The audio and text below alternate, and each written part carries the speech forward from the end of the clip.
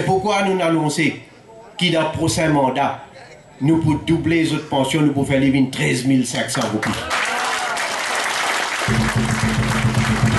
Seulement, seulement on connaît l'opposition, Ramboula, met doute dans l'esprit, je vais critiquer, je vais dire, mais moi pas dire, quand on peut commencer, qui pour arriver.